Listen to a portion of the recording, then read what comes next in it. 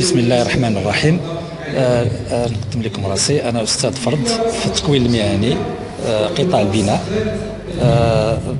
شفنا ارتئينا أننا نديروا هاد هاد المناظرة. الندوة الأولى من النوع ديالها في هذا الإقليم ديال الخميسات وهي مناظرة اللي كتحث على على البناء الأصل ديال البناء والكيفية ديالو في العصر الجديد.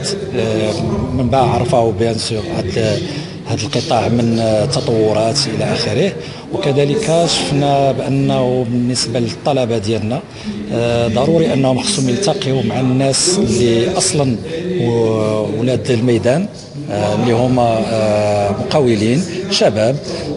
عرفوا بعض بعض الإكراهات في التنظيم أو لا في باش يصيبوا الشركات ديالهم إلى آخره. وهنا جبناهم لهنا باش يعطيو اكزاكتومون يعطيو شنو هما المشاكل اللي يمكن تعترض الشباب اليوم في تسيير المقاوله أو في البحث عن عمل في أوراش البناء إلى آخره. آه، وهذه المناظرة هذه ارتئينا أن باش نجيبوا لهم الناس الميدان فهناك آه، شخصين من من المقاوله جبناهم. واحد الشخص آه، اللي هو رئيس تقريبا 11 ورش. جانا من الدار البيضاء مشكور جاء متطوع.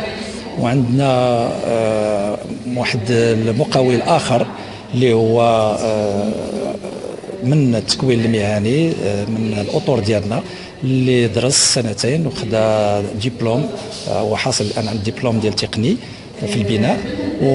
وناض صايب واحد المقاولة ديالو ناجحة تبارك الله عليه. وهنا بغينا نعطيو نظرة أخرى عاوتاني على التنظير.